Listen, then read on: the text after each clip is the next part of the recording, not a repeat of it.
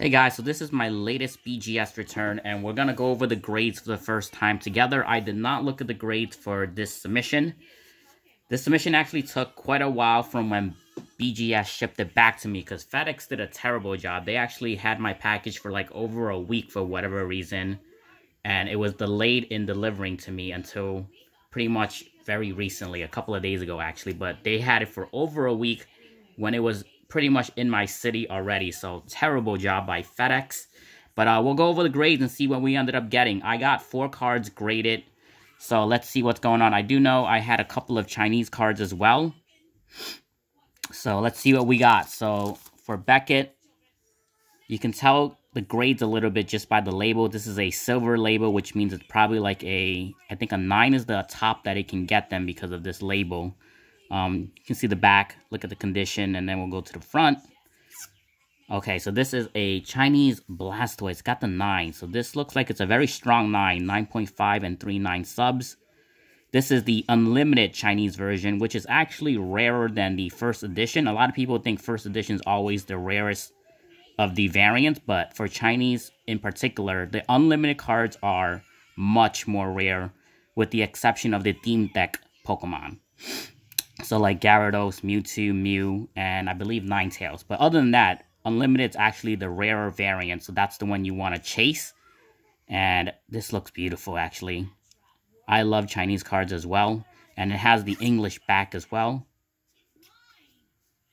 And um, Pokemon's actually re like printing cards now in mainland China. So it might be getting up there in like popularity, like the language, just because more and more are getting printed and there'll be more exposure for like Chinese cards going forward, I feel like. So this is probably the Gyarados then. I had a Gyarados as well. What is up with this case? Look at how, like, this case is, like, very dirty or, like, I don't know what's going on. Like, this, this Blastoise like that?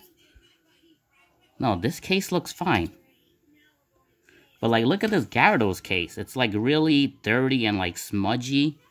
Like, can I wipe this? No, I don't think I can wipe this off. This looks like it's, like, scuffing on the case.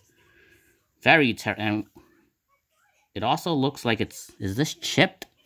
It looks like it's, like, cracked inside, not on the outside. It's smooth here. It looks like it's internal damage.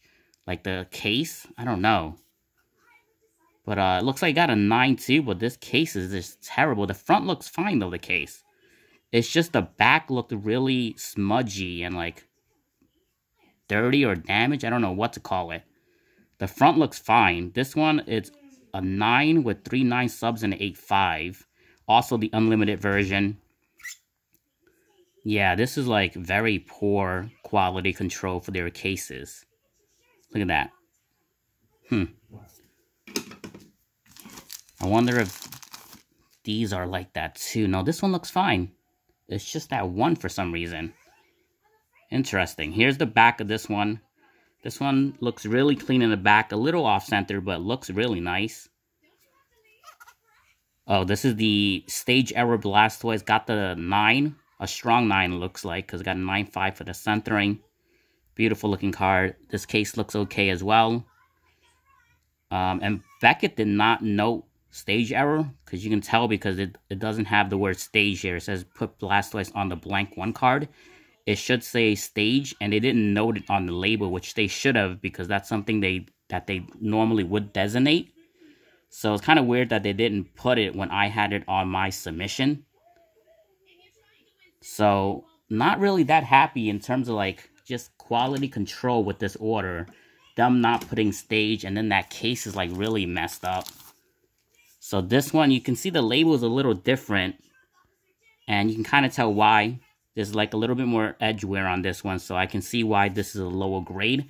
This label typically is reserved for anything lower than an 8.5, which is like the paper label.